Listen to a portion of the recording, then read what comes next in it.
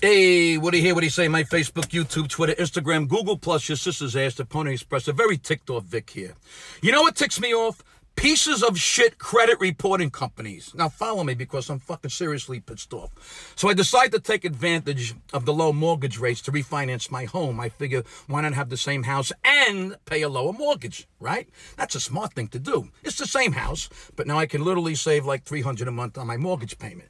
So I find a great rate, fill out all the paperwork with a mortgage broker, I get approved, and I get my new mortgage rate. Beautiful, right? Then at the same time, my car lease happens to be up. I love my car a lot and it has really low mileage. So I figured, hey, wait a minute. I can now buy the car and pay less money each month for the same car. So the same principle as refinancing my house applies. I can own the same car for less money each month. So I do it. This is Susie Orman shit. This is what we are supposed to be doing because it's smart. And what happens? My fucking credit score dropped 51 fucking points. That's what fucking happens.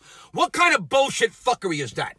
I feel like a serf in the kingdom of the rich banking shitbags. I pay every bill on time for a million years. I have a chance to lower my mortgage and my car payment.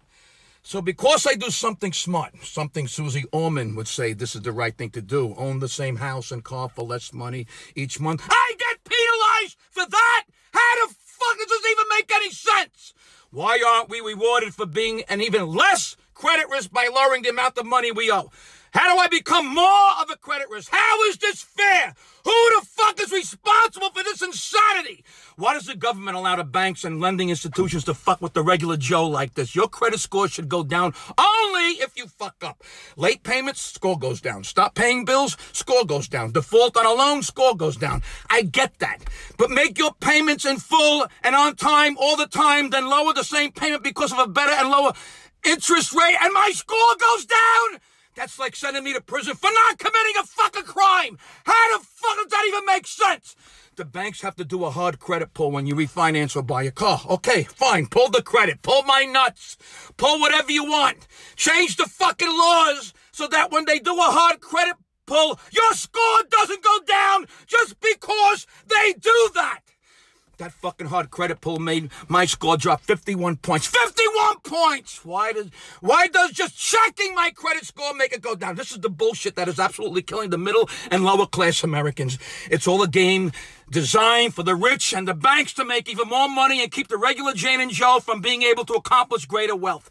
Once your score goes down to a certain level, you pay higher interest rates for everything, and other rates can go up to, like car insurance, or even getting a job. Employers check credit reports now when you apply for a job. So now you lose a job because you lowered your car payment? What the fuck is going on here?